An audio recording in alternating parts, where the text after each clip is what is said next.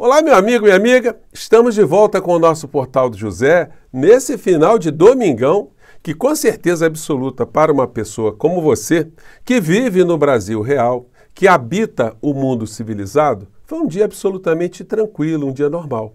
Mas para as pessoas que habitam aquilo que nós chamamos de universo paralelo do bolsonarismo, o dia foi muito complicado. Foi um dia de muitas dores de cabeça, muitos desentendimentos, de muitas ressacas e, sobretudo, um dia em que eles difundiram uma palavra que nós devemos prestar muitas atenções a partir de agora. A palavra é fuga é o que está sobrando para a figura do inelegível e de outros criminosos depois da manifestação que eles fizeram ontem na Vida Paulista, que demonstrou um fracasso político absoluto. E isso vai ter uma repercussão jurídica também. Vou conversar com vocês sobre tudo que aconteceu e que está acontecendo, mas antes de mais nada, quero convidar você que está chegando agora ao nosso portal, ainda não é inscrito, ainda não nos conhecia, para que, em primeiro lugar, você se inscreva aqui conosco e conheça também os nossos outros vídeos. Se você gostar, compartilhe, recomende, sempre dê o seu joinha, o seu comentário. E se puder, venha aqui também para o nosso clube de membros. Você que é muito bem-vindo e muito bem-vinda. Vamos seguir em frente. Gente, como eu faço todos os domingos, hoje é dia de fazer uma resenha aqui dos principais jornais impressos no Brasil. E todos eles é, trataram é, do 7 de setembro de uma maneira absolutamente muito é, protocolar. Não teve nenhum destaque. Fizeram relatos ali sobre a manifestação tradicional do 7 de setembro em Brasília, os desfiles, quem estava lá, o presidente Lula, os convidados, e também da manifestação puxada pela extrema-direita, especificamente pelo Silas Malafaia, que aconteceu na Avenida Paulista. E aí, a grande preocupação das pessoas que analisam superficialmente esse tipo de evento é em relação ao número de pessoas. Se tem muito mais pessoas, é sinal que o evento foi muito bem sucedido. Se tem menos pessoas, é sinal que o evento foi um fracasso. Levando em consideração apenas o fator numérico, é, a manifestação foi um tremendo fracasso, foi um fracasso rotundo, que está demonstrando muito mais fissuras do que a van filosofia poderia imaginar. Em primeiro lugar, foi um evento é, convocado especificamente por um pastor evangélico, assim que ele se intitula, mas nós sabemos que é um grande empresário da fé de extrema direita. Como nós pudemos observar, não teve adesão de outros líderes religiosos dessa vez. Quem esteve nessa manifestação ontem, é, realmente, é, a gente tem que questionar bastante se aquelas pessoas ali sabem o que, que é o impeachment de um ministro da Suprema Corte, o que, qual é o propósito disso, o que, que isso visa no final. Evidentemente, é uma bandeira que não entusiasma uma pessoa para sair de casa, né?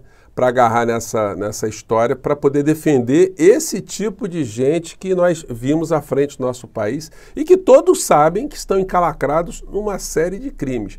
Por mais que eles é, tentem se defender, gente, é, a, a conversa do que eles já fizeram ela vai se infiltrando lentamente até mesmo nesses segmentos de extrema direita. As pessoas vão colocando o pé atrás. É complicado o cara ser acusado de ser um chefe de uma organização de ladrões de joias, alguém que ajudou a matar pessoas aqui durante um período de pandemia, alguém que falsificou cartão de vacina, alguém que conspirou contra a nossa democracia. São muitos vetores. Não dá para essa gente é, o tempo todo ficar imune é, durante tanto tempo e de tantas coisas, né? Então a coisa vai ruindo, vai tendo fissuras, vai tendo defecções. Nós já não vemos hoje tantos personagens que andavam com a extrema direita bolsonarista colados com ele nesse momento, enfim. E é, a repercussão no dia de hoje é, foi essa, né? É, a gente pega é, é, algumas, alguns é, canais bolsonaristas, todos eles estão ali mirando apenas na questão numérica, tentando mostrar para as pessoas, olha, não foi tão fracasso assim, é, teve muita gente e, e nós conseguimos. É, conseguiram o quê? Todos os objetivos dessa manifestação, meu amigo, minha amiga, fracassaram. A gente pode, eu até coloquei na descrição do nosso vídeo anterior alguns pontos, né? coloquei 10 fracassos. O que, que eles pretendiam e fracassaram? Amedrontar o ministro Alexandre de Moraes. Eles conseguiram? Evidentemente não. Fracasso 1. Um. Amedrontar o STF. Será que eles conseguiram? Evidentemente não. Fracasso 2. Amedrontar o Rodrigo Pacheco? Não conseguiram. Fracasso número 3. Provocar adesões para sua causa golpista. Veio muito mais gente para essa causa? Evidentemente que não. Fracasso número 4. Amplificar adesão popular. Mais pessoas de todos os segmentos aderiram a esse tipo de movimento golpista? Também não. Fracasso número 5. Reverter condenações. Eles conseguiram ou vão conseguir? Não. Fracasso número 6. Paralisar inquéritos. Vai ter algum inquérito paralisado? A Polícia Federal ficou com medo, os delegados ficaram com medo, não vai ter mais apuração de absolutamente nada? Não, não vai acontecer isso. Os inquéritos vão seguir, portanto, fracasso número 7.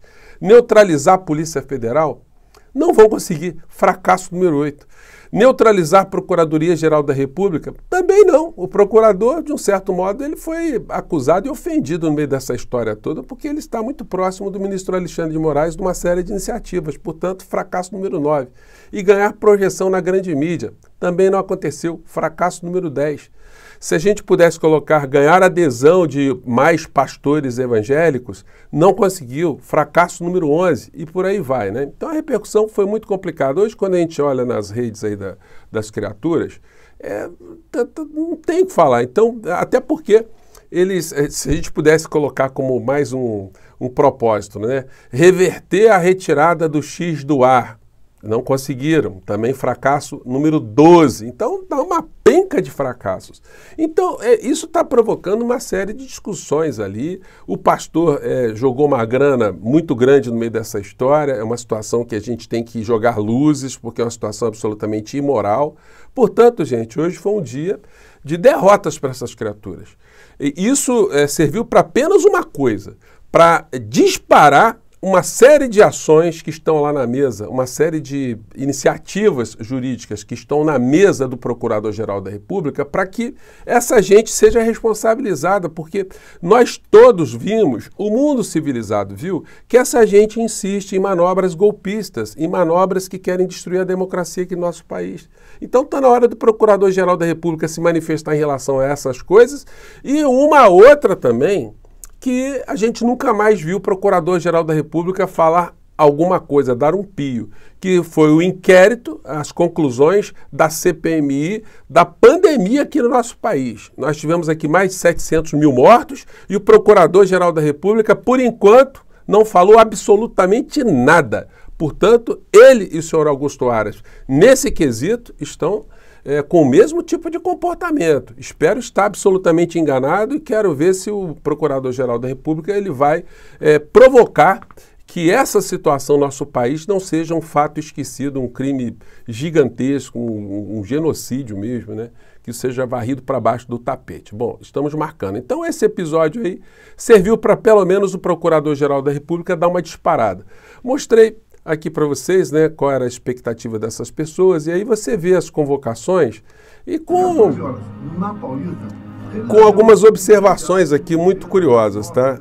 O, por exemplo, a dona Michele convocando aqui, mas a dona Michele não apareceu lá ontem, né? Tem uma questão política, né? Como ela também é, é ventilada como uma possível substituta de Bolsonaro, Bolsonaro não quer dar mais ibope para mulher nenhuma. Ele já teve muitos de sabores, de sabores com as suas ex-esposas. Então, é, ele não quer apostar mais fichas numa senhora que é casada com ele, mas que ele tem é, um, um, resguardo patrimonial muito grande, porque ele casou com ela em regime de separação total de bens, fez um contrato pré-nupcial, ele é escaldado é, com relações com as suas outras ex-esposas, né? E ele não quer é, ventilar um poder absoluto é, da, da, política da extrema-direita na mão da senhora Michelle. Então tem essa situação também. Né? Então veio a convocação dessas criaturas, todos convocando, todos se ufanando, fora Moraes, vários personagens aqui, mas como a gente pode ver, né, sumiram aqui uma série de, de, de pastores dessas convocações. Né? Então, é, em relação ao propósito, gente, a situação foi um fracasso total. E as cisâneas eh, foram se sucedendo, como essa aqui. Bolsonaro critica Marçal por tentar fazer palanque em ato na Avenida Paulista. O Silas Malafaia também espinafrou o, o, o, o Marçal e vice-versa, né? E a gente pode concluir é, essa história toda é, como uma grande bravata que eles tentaram fazer e não estão se dando conta do que vai vir pela frente. Me lembrou uma cena de um filme, uma comédia, Corra que a polícia vem aí.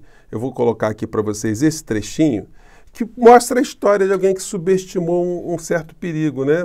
Um, um, policial, no filme é uma comédia, né? Ele vai, um covil de criminosos, chega lá, estão todos armados e ele chega, olha, é, soltem, larguem as suas armas, né? Bom, vocês vão ver aqui, né? Aí mostrando como é que ele estava sem noção naquele episódio. Vamos lá.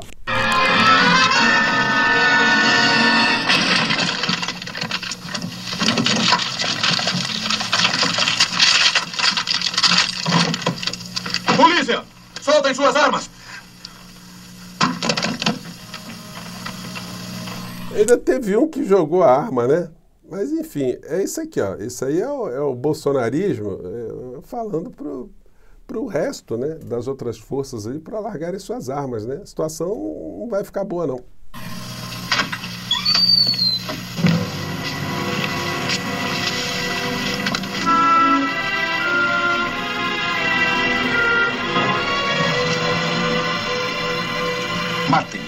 Aí, seguinte, é, dar sequência aí, enfim, é, é muito. É, é uma engraçado, né? Um, um, trecho muito engraçado que serviu aqui para finalizar esse nosso papo aqui nesse final de domingo com vocês. Portanto, meus amigos, minhas amigas, agora a palavra fuga entra no radar com força total.